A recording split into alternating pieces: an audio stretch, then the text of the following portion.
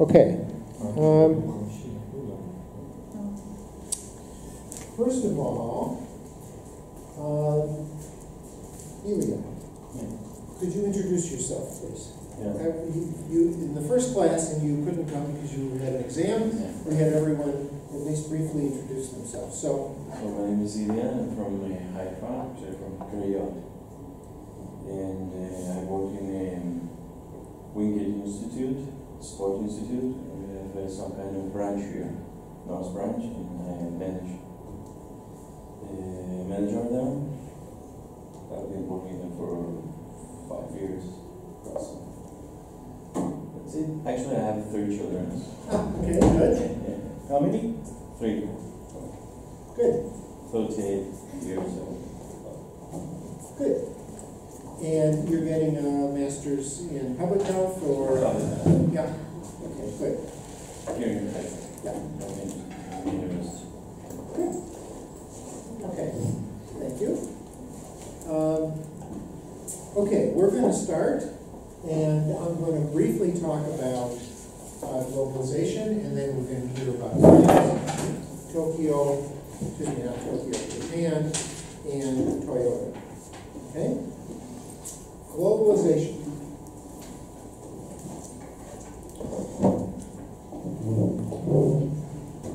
So, um, I hope everyone had a chance to read Tom Friedman's article. Uh, What you don't realize, and you're not gonna care about, but I'm gonna tell you anyway, Tom Friedman wrote a three hundred and fifty page book, Same time. same title. And until this year, that was, that book was required reading for this course. And I think it's a great book, I think it's worth reading, but not all of the students agreed with that. For some reason, they didn't want to read three hundred and fifty pages. Oh, weird. Uh, it's hard to understand. And then I found this article that he wrote, which I'm sure was preceded his book, right? So he's a columnist for the New York Times. Um, he has influenced my own view of life, as evidenced by my being here. Okay, and um, I think that he has done in this eight-page article a tremendous uh, contribution to understanding about globalization. So, what did you learn from reading this article? Shall we? Um,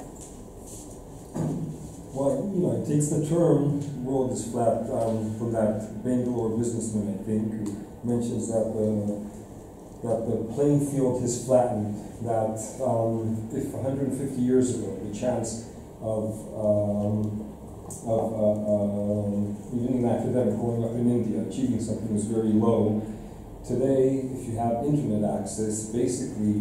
Um, the world is flattened in terms of accessibility to everything. Um,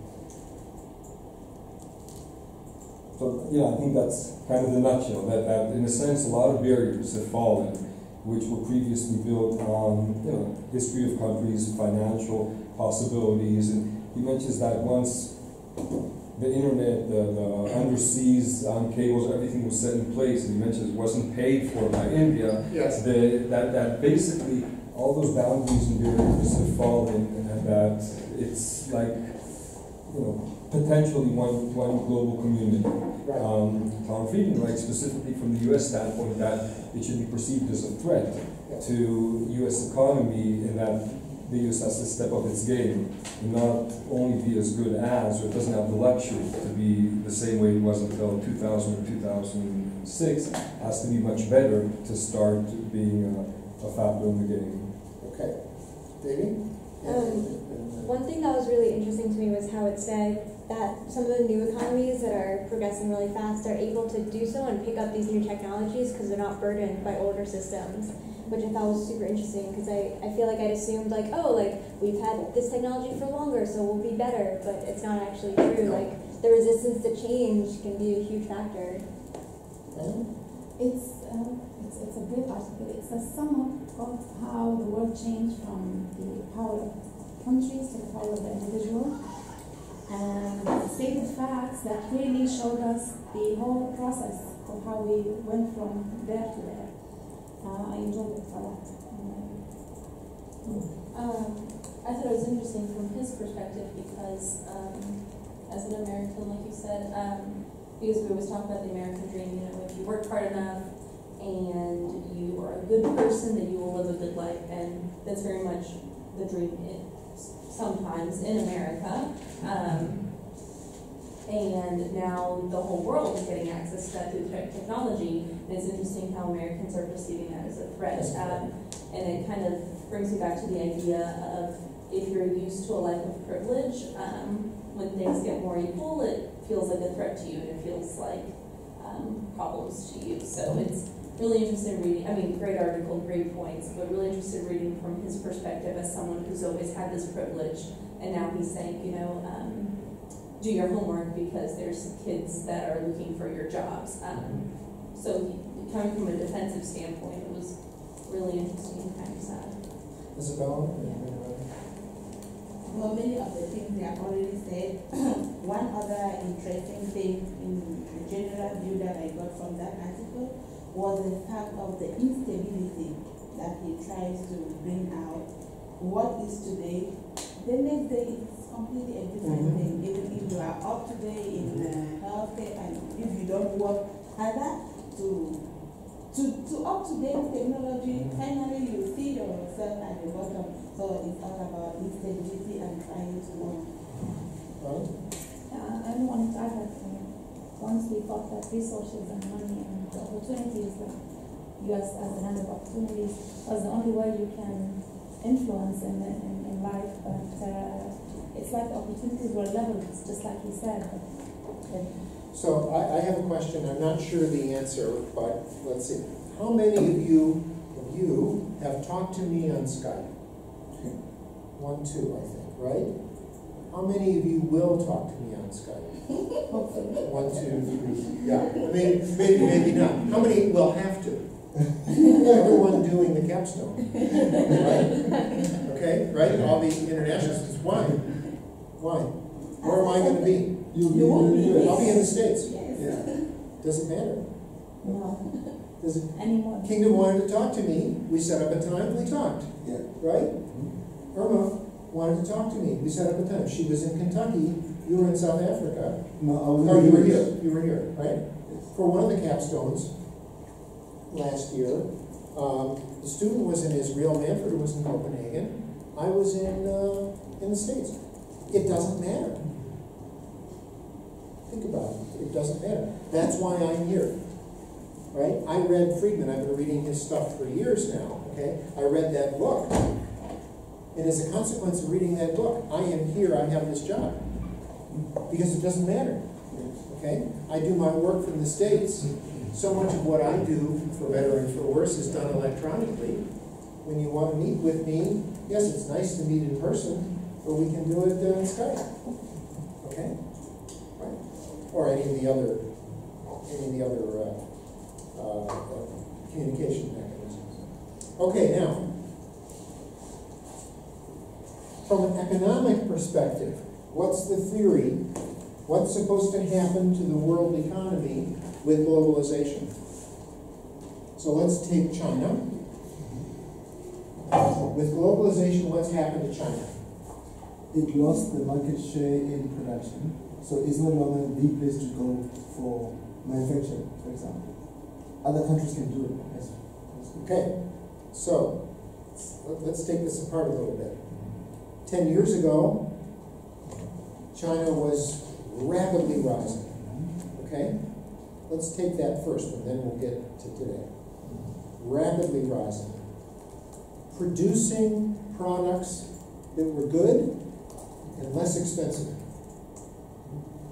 Um, how much of our clothing that we are wearing right now, if, if I asked you to take off your Chinese clothing, what would be left? Nothing legal. Nothing. Okay, right? Be fun, but. Okay. Now, what's that done to the Chinese? What's happened in China? Not immediately, but this is five, ten years ago. Well, urbanization. urbanization. So prior to that, where were people in China? It was rural. Yeah, rural people. So they come into the city. There are all these complications with air pollution. But what are the good things that this has done to the people of China? Education. Education and money. They make more money. What do they do with their money? Spend it. On what? Um, provisions, I guess. Everything. Cars, computers, cell phones, movies. What movies do they watch? Hollywood, Hollywood. Who makes that money? US. U.S. They buy a computer. It's made in Japan. Although they do have a good, uh, They have their own movies. yes, Just one second, okay? They buy a computer. It's either made in China or Japan. But where's the software from? States. It's either Apple or it's Microsoft. It's from the States. So as we buy shirts and underwear from China, we as Americans, excuse me, the Chinese are buying our software. And they're buying the CAT scan from Siemens in Germany and the Intel chips that are developed here in Israel. Okay? Go ahead. Um, I was just going to kind of discuss education. So, uh, a job I've been doing for a while now. It's a part-time job. Um, I teach English online through a platform to Chinese, Mhm. adorable Chinese children. If anybody else would like to join let me know. Um, it's really fun, but the platform, the technology is amazing. Like it's a million times better than Skype. And recently, there's an article that came about the, out about the company I work for, um, saying if America isn't willing to pay its teachers, China will. Um, and I mean, it, it, they pay a lot of money to have American and um, other English-speaking people, like you know, talking to their kids, and they're learning English really quickly to do this. So, and this is part of the threat that Tom Friedman talks about, which is that now the best practice anywhere is available to anyone. So if the best ENT practice in the world is in Haifa, Israel, at Rambam Hospital, it won't be the best for long. Because there's some man in China or woman in China who's learning about what you're doing, and they're going to do it better than you for less money. And what you need to do is you need to feel that threat. That's what Friedman says. And you have to make yours better. Because if you stop, you're, you're done. You can, you can never stop with this. Quality has to go up, cost has to go down. you can only improve as much as you can improve. I mean, there's always a limit, even a time limit or a capacity limit for someone to grow and No, the argument is it, you never stop making improvements. There's no limit. I mean, there's a shift in, let's say, if the US was once the best uh, economy in the world, then China became, and then it's, it's a back and forth thing. It's because of growing, it, it changes, it shifts. It shifts back and forth, Yes. yes, okay? But you never stop. You never stop trying. That's the argument. Okay, now, let's talk about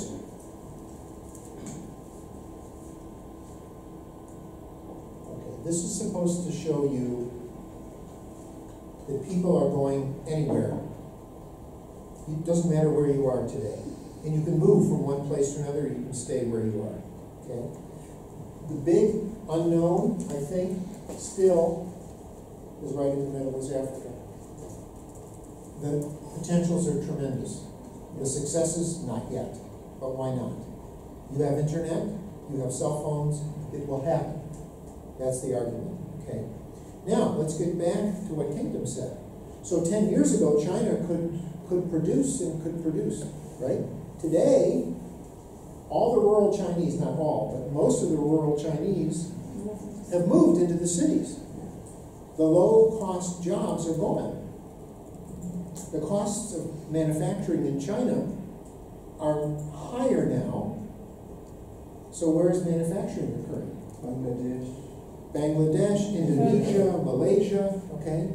Right, so it's amazing the Chinese are no longer as, as strong as they were because the other countries are catching up. And eventually, I assume Africa will too, okay? right? Okay, now. What are those? Bricks. Broken. Bricks, broken bricks. Okay? Spent a lot of time finding that. B R I C. B, B R, let's see, ICS. I C S. B is for Brazil, Russia, India, China. China. It's B R I C, the S is the bricks. Almost Yeah, but South the Africa. S, the S now is South Africa. South Africa, so Which we people, donate. people talk about South Africa, Mexico, and Turkey, some people have those. Okay, so the argument is that these are the emerging markets. And what they're broken, what's the story? Why is it broken bricks? These are the bricks. Did anyone invest in emerging markets? Anybody with money? The two old men here? To Older. invest? Older, excuse me, older, sorry. Uh, Your own money? We are, we are too young to Yeah, to invest anything. invest in the emerging market because it was, Okay. it was burned out before. Okay, So I'm a rich American doctor, so I invested in emerging market stocks. What happened? Went down. It went down. They went way up and then they went down. Why? What happened? They became uh, more costly. They became more costly and the expectations weren't met. People said, oh, it's gonna be up and up and up and up. Well, it wasn't. And, and Ronnie has kind of implied this. It wasn't as good as everybody said it was going to be. There were limits. They're theoretical. Theoretically, excuse me, there should be no limits, but in fact, there are limits. Those limits keep changing and they keep going up. So what happened was the process of globalization hasn't worked as well as people said 10 or 15 years ago. Now, today, the emerging market stocks are better. The economy is better. They've recovered just this last couple of years, right? So they go up and down. And what happens with all economies everywhere and systems everywhere is they're never perfectly rising. They go up and down, they oscillate. Okay? So the process of globalization is not perfect.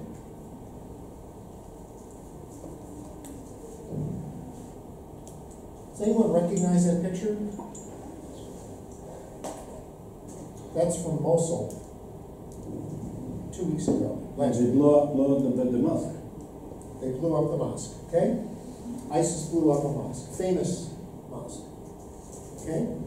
Why? Why, why am I showing you this? What does this have to do with globalization? It's geopolitics. War changes the, uh, And this represents, what is ISIS trying to do? Bring back the caliphate. Why? What don't they like about today?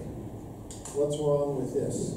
Too westernized, too westernized, too threatening, too modern, too new. Globalization threatens existing societies. Globalization takes away culture. We all are the same. It doesn't matter. Okay, we're all wearing clothes made in China. It Doesn't matter where we came from. We all look the same. Okay, and so there's a huge resistance to globalization from traditional culture because people want what they had, particularly older people. And this is a representation of a threatening way of life. It's threatening the way of life in tradition. There's a huge backlash against globalization for these reasons. Okay. I think the similar scenario is with Boko Haram in Africa. Yes. I mean, they're, they're really fighting for the same. Yeah. Okay. That's even better than the last picture I showed you. And what does he want to do? How does he? What is he? How did he get elected? So we can do it again. Okay. What does he want to do? Oh, Mexico pay for it. Like Build a also- wall. Okay. Build a wall. Build a wall around the United States. Okay. What is he afraid of? Globalization. What are the people who elected him afraid of? Threatening a way of life. He promised that the coal miners would get jobs again. That's ridiculous. They're not going to get jobs again. Okay? I mean, he just made these promises, you know, from Kentucky, right? It's history. It's not going to happen. But people believe their way of life is so threatened. They want that tradition back. But hasn't he benefited from globalization? Of course. A lot. Sure, of course he has, okay? But he is a, he's a, he's a populist demagogue, okay? He's, this is our generation's Adolf Hitler. I think, I mean, I'm sorry, you know, I mean, you understand my politics. He says what people want to hear. He doesn't have any sense of responsibility for the truth. Now, he wouldn't have been elected if people weren't threatened. So, if it wasn't him, it would be someone else. That would be the argument, okay? He's a more dramatic example, and it's very disconcerting for me as an American to, to see this, but if it wasn't him, it would be somebody else right now. So, so I, I think it's not even a matter of him planting that, that, that sort of thinking into people. It's a matter of people always had those fears, but Yes. they were looking for someone to speak up for That- them. That's correct. He happened to, he He happened has to a stumble, constituency, right? he stumbled into this at the perfect time. But uh, what about if uh, he's trying, but and I don't like Trump first, just to say, but what about if he's trying to protect what, the, for instance, for their culture is better? And um, I, I'm just taking this case like Colombia. Uh, uh, we produce rice, Yes. and it's very tasty, very pure, and it comes from real. I mean, it was uh, rice that it wasn't created in a lab. But now we are importing rice from China. And also there is now a new law that you need to buy the seeds and the, the, um, the, the people who work in the countryside, they, they cannot reproduce their own fields with their own seeds. They need to go to the government to buy these seeds which are no natural. Then you taste the, our new rice and it's it's like the rest of, uh, I- I'm sorry for saying this, but the, the rest of the world for me, the, when I went to the United States and the UK, the rice is, uh, is just like uh, plastic. You need to go to Colombia and try the real rice. but we used to have that. Yeah. But now, because of the globalization, there is no more rice like natural one. So, So- ju- just to, to say like there are some uh, advantages, but there are also some things that we are going to lose as a culture. Yes. It's not like uh, I'm just protecting the tradition. It's just like uh, thinking Okay. of what you have uh, that is important in your So- country. The last question, and I'll get back to this in just a minute, okay? But where's the last arrow in this circle here? What am I saying to you?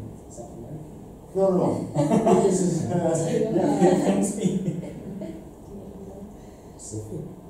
no, the point is, we're back to globalization. Oh. The point is, nothing will stop globalization. That's what Friedman said. Nothing is going to stop this. You may try to blow up the, mo- you may blow up the mosque. You may build a wall. It's not going to stop. Nothing will stop globalization. Okay? Now, theoretically, Diego, people in Colombia should become wealthier because of globalization. So maybe they can afford to buy the special rice if they want. Okay? They'll be so rich that they can spend the extra money to buy the rice. Or maybe they'll want to buy an extra pair of pants. That will be up to them.